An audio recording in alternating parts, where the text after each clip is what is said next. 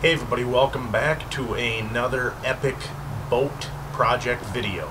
This one will be one long part, so stick around to the end. In this video I will be showing you how to assemble the Origin wakeboard tower.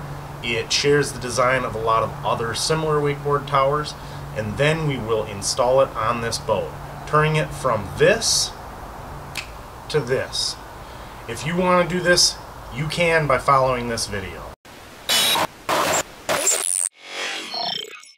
Alright, as you can see from that intro, we're putting this wakeboard tower on this boat. This will work for a wide range of boats as this is a universal wakeboard tower. Now there are a couple quick disclaimers that I have to say before this video gets going.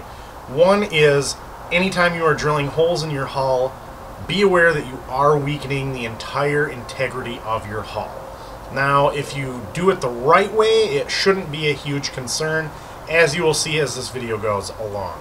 Another disclaimer is, obviously, anytime you add something of this size to your boat, you are adding weight. So always keep that in the back of your head when you are weighing gear or the amount of people, etc. Okay, now let's see how this thing arrived, how it was packaged, and let's see how it assembles dry in my garage and then moving forward it will get installed on this.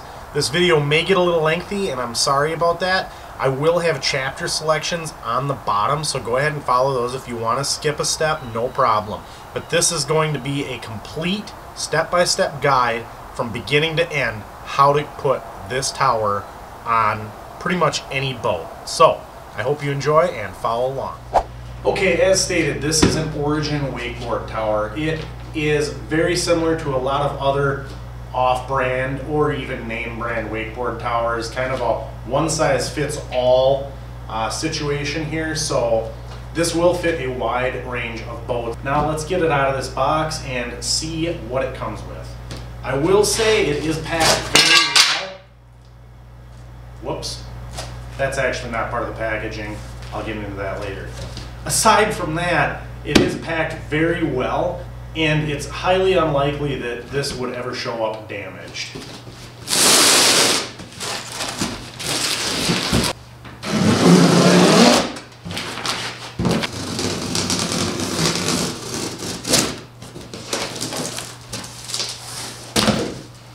Each tube is individually wrapped, so this thing is going to be very safe for shipping.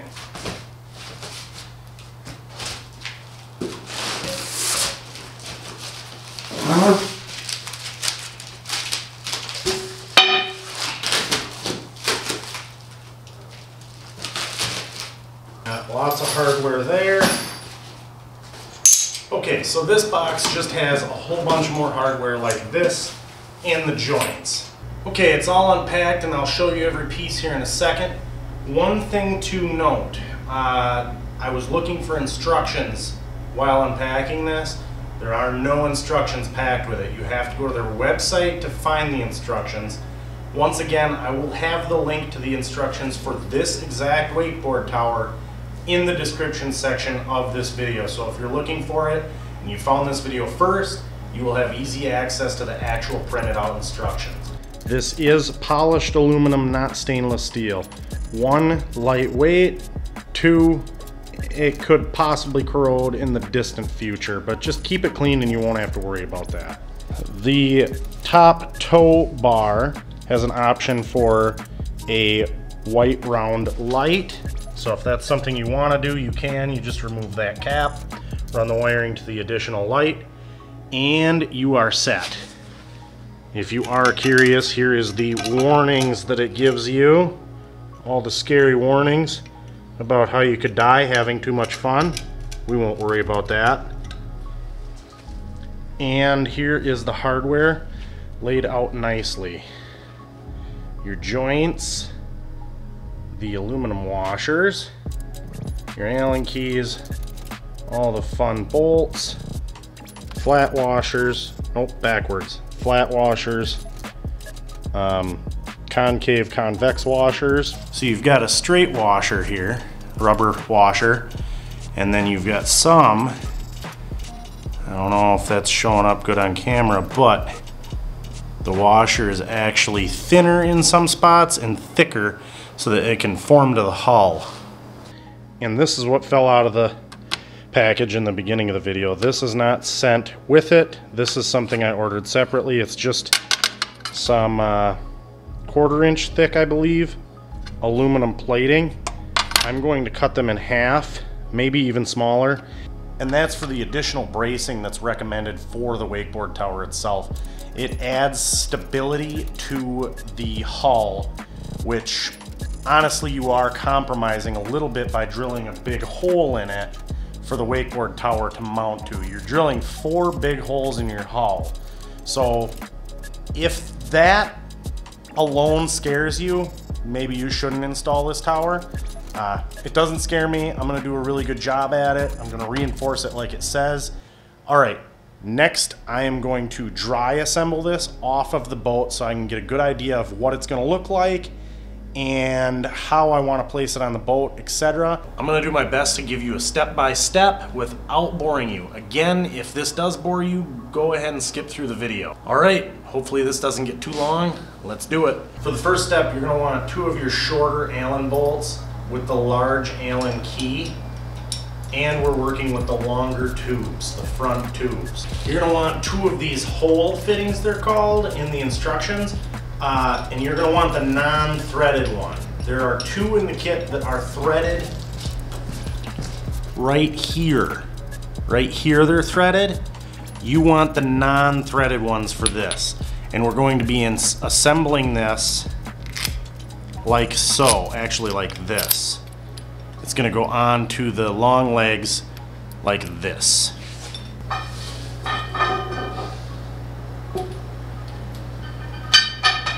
Just like this, and I'm going to leave everything very loose for this process and dry fit. Again, I'm not going to be using Loctite at this time. Get loose so I can do this and then do the same thing with the other front leg. Be sure to be putting on your lock washers. So that's the first step in the instructions. Okay, now we're going to be working with this L-shaped bracket. It does say there is a left and a right for these long tubes and a left and a right for these. However, it is not marked and it says if you are in doubt, you can swap them later. So I guess we're kind of at a 50-50 shot of getting this right the first time. Okay, so that is what you want it to look like. Just like that. This bracket going backwards on the inside of the long arch here, looking like this. Just like this. So now, repeat this step on the other long arm. Okay, moving on to the short legs, you want to put one of the non-threaded joints on the short legs, one on each side and then one on each side of the threaded.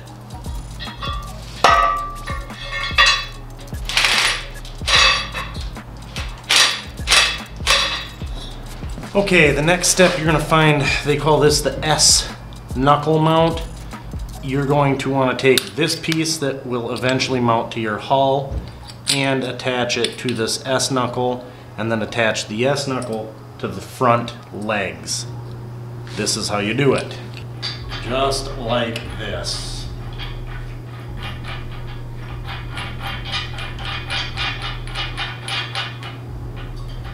So this gives you more movement when mounting to the hull on side on the side of the boat or even on the top depending on your situation. So repeat that step on the other leg. Okay, the next step is the only two mounts you have left go on the non-threaded knuckle on the short arms. All right, I'm gonna rough assemble this and set it up. There's a few bolts I have to tighten. I left things a little too loose, but I will worry about that when I get to the boat portion. I will do that off camera. Just snug so that stuff doesn't fall but loose enough where you can still kind of move the joints. So that's the dry fit. Next, we go to the boat, measure things, and put it on. Alright, as you can see, we got the wakeboard tower assembled dry just in the garage. Now, the next step, obviously, is getting it on the boat. Now, there's a couple things I did off camera which I will show you. And that is mark out where I want the front posts for the wakeboard tower to go. And this is the very crucial part of everything. You have to make sure you're measuring this thing out square so that it goes on the boat square and isn't crooked or offset or anything like that. Okay, so the main thing here is that you want to find the center of the boat. What I did here was I measured this spot. You can't go off of cleats because they might not be square, being that they are an add-on. This part right here of the boat is actually molded, so it's going to be the most symmetrical and square spot on the front.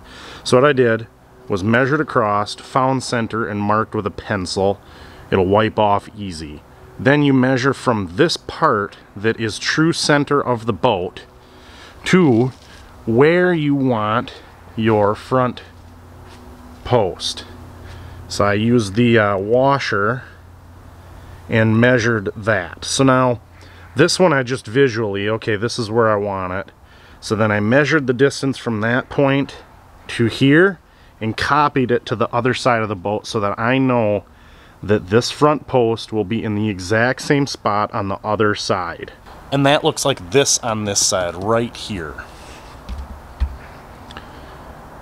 Another big thing to note is that you want to make sure you're going to clear any obstacles on the back side of whatever you're measuring. Right here on this side, my biggest concern was the fuel fill neck. Uh, I verified it does go straight down, so there's nothing in the way here, and there's nothing on the way on the other side.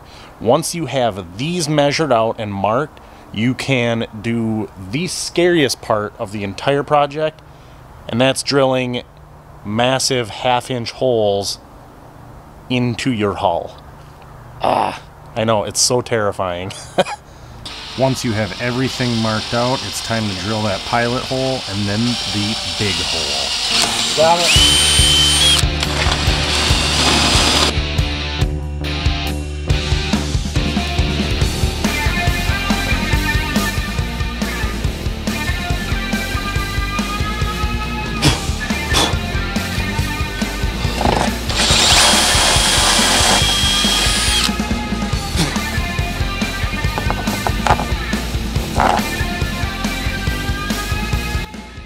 After your first hole is drilled, it's time to get your friend to insert it into the hole and utilize those backing plates I was talking about earlier.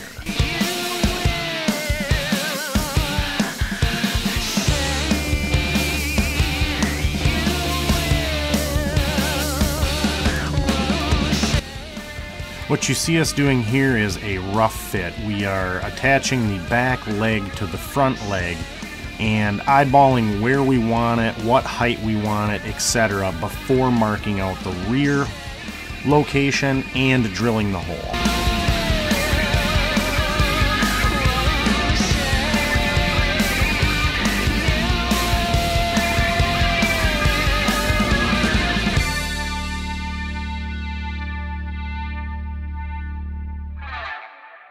And then again, obviously, drill your big hole for the mounting bolt and have your buddy hold it while you tighten it down snug.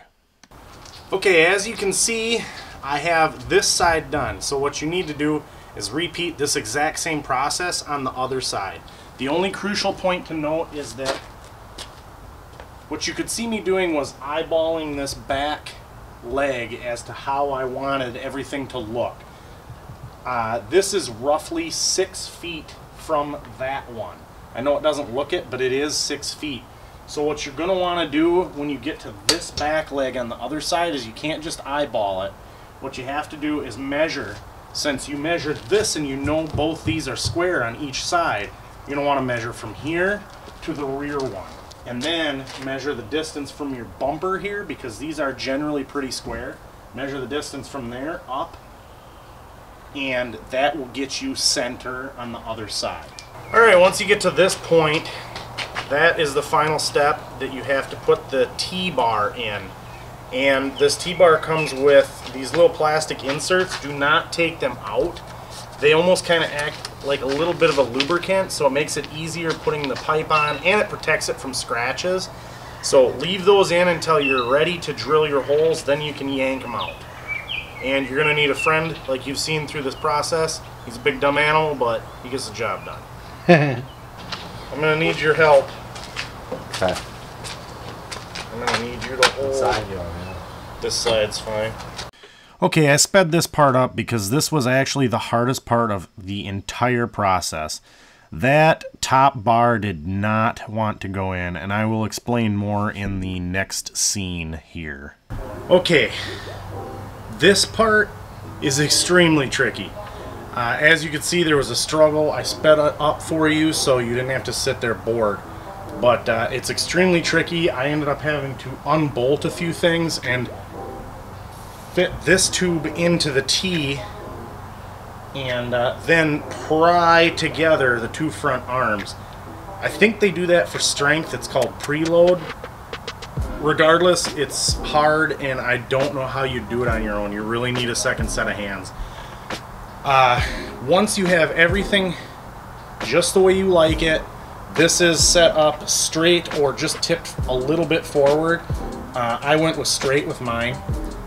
Then you can drill these holes and go ahead and tighten this up 100%. Also, I went ahead and tightened up the through holes uh, 100% also because those I don't want moving because unfortunately you have to take this all back off and tighten with Loctite these bolts.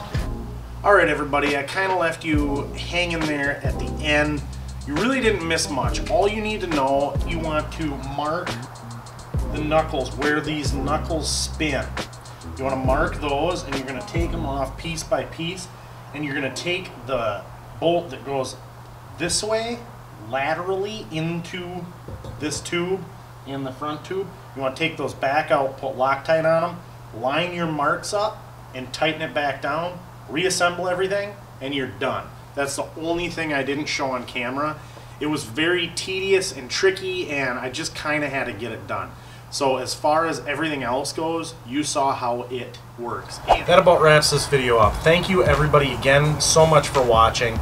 Uh, again, please consider hitting that subscribe button. I hope this video gave you a lot of insight as to how these types of wakeboard towers mount. And uh, keep an eye out. Also, I will be doing a lake day video. Uh, just telling you how it's been working for me, how it's standing up, things I like, things I don't, uh, etc. So keep an eye out for that. When available, it will be linked in the description section below, also with a video end card at the end of this video.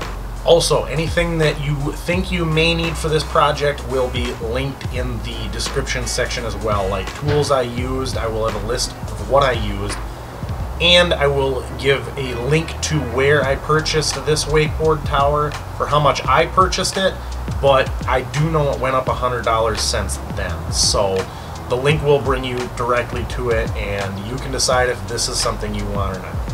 Alright, again everybody, thank you so much for watching and I will see you in the next video.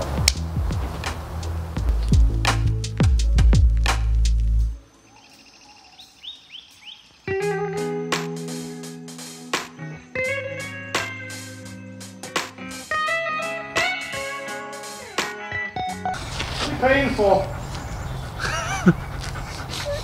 Hmm, smells like a boat.